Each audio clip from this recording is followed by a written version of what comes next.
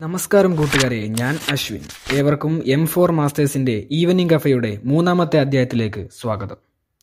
നേരിടാൻ തയ്യാറായി ഒരു മനസ്സുണ്ടെങ്കിൽ കീഴടങ്ങാൻ തയ്യാറായി ഒരു ലോകം തന്നെ നിങ്ങൾക്ക് മുന്നിലുണ്ടാകും.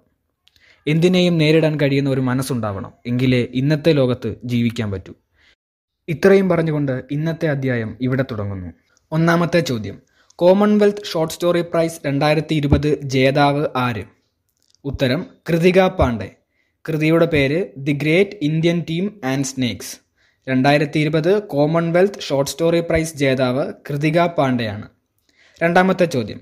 രണ്ടായിരത്തി ഇരുപത് ഡോക്ടർ സുകുമാർ അഴീക്കോട് തത്വമസി പുരസ്കാരം നേടിയത് ആര്? ഉത്തരം എൻ കെ പ്രേമചന്ദ്രൻ.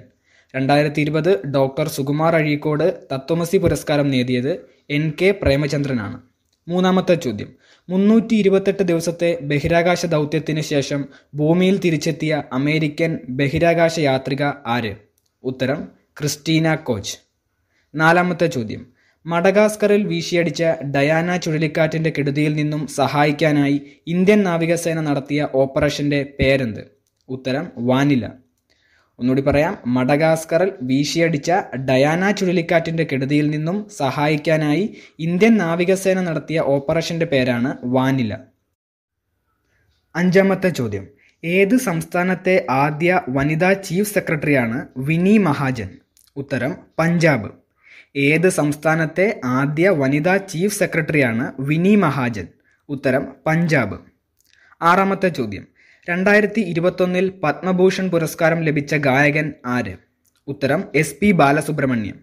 രണ്ടായിരത്തി ഇരുപത്തൊന്നിൽ പത്മഭൂഷൺ പുരസ്കാരം ലഭിച്ച ഗായകൻ എസ് പി ബാലസുബ്രഹ്മണ്യമാണ്. ഏഴാമത്തെ ചോദ്യം. ഇന്ത്യയിലെ ആദ്യ ശുശ്രൂഷ സാക്ഷരതാ പഞ്ചായത്ത് ഏത്? ഉത്തരം ചേലാമ്പ്ര മലപ്പുറം ജില്ലയിലെ ചേലാമ്പ്ര പഞ്ചായത്ത്. എട്ടാമത്തെ ചോദ്യം. നിവാർ അഥവാ പ്രകാശം ചുഴലിക്കാറ്റിന് പേര് നൽകിയത് ആര്? ഉത്തരം ഇറാൻ. നിവാർ അഥവാ പ്രകാശം എന്നർത്ഥം വരുന്ന ചുഴലിക്കാറ്റിന് പേര് നൽകിയത് ആര്? ഉത്തരം ഇറാൻ. ഒമ്പതാമത്തെ ചോദ്യം. ഗതി ചുഴലിക്കാറ്റിന് പേര് നൽകിയത് ഏത് രാജ്യമാണ്? ഉത്തരം ഇന്ത്യ. ഗതി ചുഴലിക്കാറ്റിന് പേര് നൽകിയത് ഇന്ത്യയാണ്. പത്താമത്തെ ചോദ്യം.